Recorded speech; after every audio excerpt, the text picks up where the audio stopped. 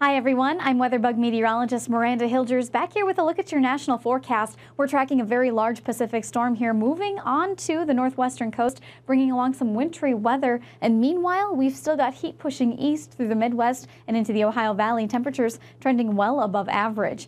On the satellite and radar picture, things very calm and quiet across much of the lower 48, but this is our monster. Coming on shore, this big area of low pressure circulating with that nice big comma cloud shape, bringing a lot of moisture into the Cascades, the Intermountain West, the Rockies as well. Ample moisture to work with coming straight off of the Pacific. So this area of low pressure is going to continue to kick up some storms as we go through the rest of today and even into tomorrow throughout the rest of the week. In fact, we're expecting some big snows for places out into the mountains, the Rockies. Certainly going to see a at least a dusting. The raincast will be ample into Seattle with over an inch likely. Nearly two inches is possible into Portland with some mudslides and heavy rains likely here through the Cascade Range.